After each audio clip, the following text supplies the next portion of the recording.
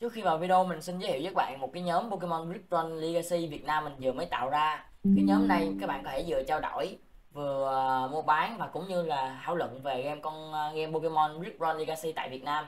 Ok thì đây là cái nhóm đầu tiên mà cái con à, game Legacy của Việt Nam nha mọi người. Các bạn thích thì có thể tham gia mình để cái đường link ở bên dưới nhé. Ok và bây giờ chúng ta cùng nhau vào video. Ok hello anh em. Hôm nay tôi sẽ hướng dẫn anh em cách sử dụng cái backup ở trong con game uh, Pokemon Brick Run nha anh em. Đây Cái uh, bottle, bottle cap này các bạn kiếm ở đâu ra? Thì kiếm ở trong những cái uh, Rai 5 sao chứ đâu ra. Ok.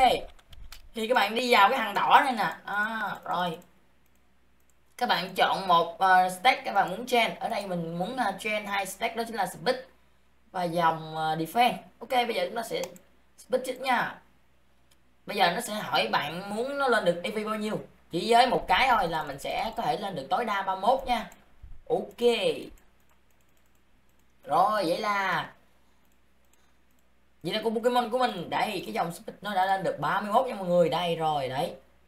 Bây giờ tiếp theo mình sẽ cho nó cái defense, mà defense này cũng đã cao rồi nên mình sẽ up cái SP defense nha. Ok. Mình sẽ up cái SP defense. Bây giờ chúng ta sẽ tiếp tục nè. Rayquaza Trend SB Defense đây rồi, mình sẽ tối đa luôn nha. Rồi, và cuối cùng là chúng ta đã có được một con, có được một chỉ số đẹp rồi nha mọi người.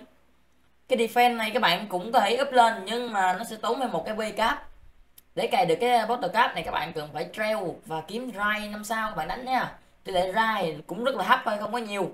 Ok, và đó là cách để sử dụng bottle cap. Và nó chỉ có vậy thôi đó bye bye mọi người.